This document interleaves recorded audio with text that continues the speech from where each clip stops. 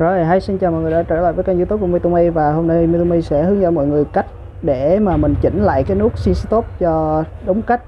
Thì thông thường thì một số anh em nhạc công của mình á thì à, không hiểu vì sao là chỉnh nút CC Stop bị sai. Thì à, lúc đó nó sẽ xảy ra một cái hiện tượng là nhấn CC Stop sáng đèn rồi nhưng mà khi mình dằn vẫn không được.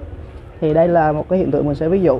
Thì đây là cái điều mình đã nhấn CC Stop rồi và bây giờ mình thử dằn thử nó có đúng hay không. Đó, đó các bạn có thể thấy là mình dằn rồi nè nhưng mà đèn xuyên xích tốt vẫn sáng nhưng mà cây đàn không dằn được. Thì mình phải nhanh mới dằn được. Thì đó là nguyên nhân đó làm cho cái việc dằn của mình nó không có ổn định. Thì ờ, uh, sẵn hôm nay có một uh, anh bạn ảnh đem cây đàn tới thì mình hướng dẫn cho mọi người luôn. Thì cách khắc phục hiện tượng này rất là đơn giản. Thì mọi người nhắn direct access sau đó mọi người nhấn sync stop nút sync stop ở đây nhấn luôn. Rồi ngay ở trong màn hình của đàn mình sẽ thấy cái khu vực uh, synchronous sync stop window thì nó sẽ thường thường đúng mặc định của nhà sản xuất nó sẽ nằm off.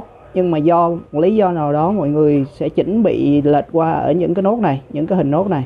Thì khi mà bị chỉnh qua những cái hình nốt này thì đàn nó sẽ có hiện tượng không ổn định và mình sẽ không cái dàn được đúng cách của mình bình thường mà mình hay dàn thì mình chỉ cần chỉnh cái nút này lại thôi, chỉnh cái khu vực này thôi, không quan tâm những vị trí khác, chỉ chỉnh một cái vị trí này lại, là chỉnh thành ốp. vậy là giải quyết được mọi vấn đề nha các bạn. Rồi, mình sẽ test lại liền này. Đó. Chỉ có vậy thôi. Cái này không phải là lỗi phần cứng, không có sửa đàn nha các bạn. Cái phần này một số anh em là mang tới tiệm đàn để sửa nhưng mà không không không phải đâu, cái này không cần sửa đâu.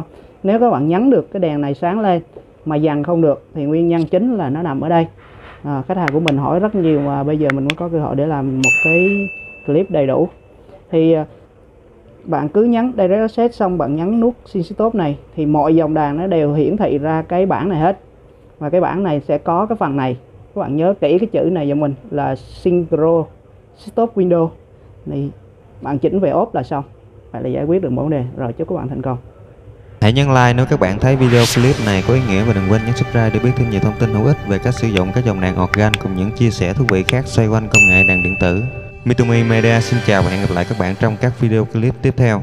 Goodbye.